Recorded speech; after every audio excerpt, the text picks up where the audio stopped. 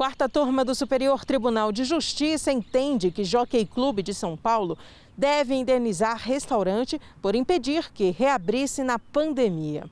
O estabelecimento, instalado em espaço locado pelo Jockey Clube, ingressou com um pedido de tutela provisória para tentar garantir o funcionamento.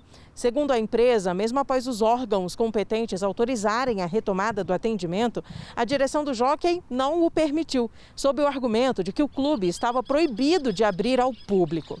O pedido de tutela provisória foi deferido em primeira instância, obrigando a imediata reabertura do estabelecimento.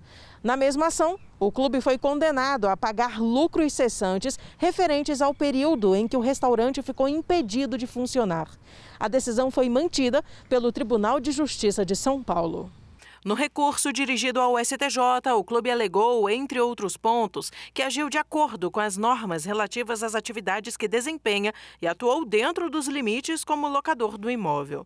O relator, ministro Luiz Felipe Salomão, esclareceu que a jurisprudência do STJ considera que a responsabilidade pelo uso do bem nesses casos é do locatário, cabendo ao locador apenas a entrega do imóvel em conformidade com a destinação.